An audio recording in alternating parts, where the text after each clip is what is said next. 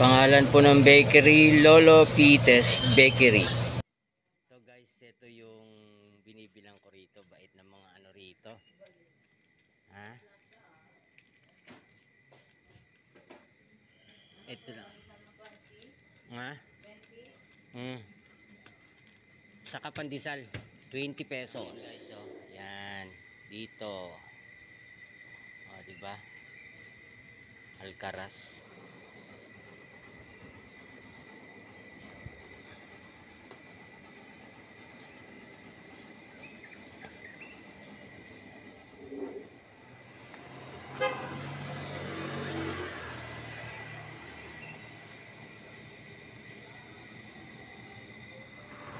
Tuloy mo lang yung kasipagan mo.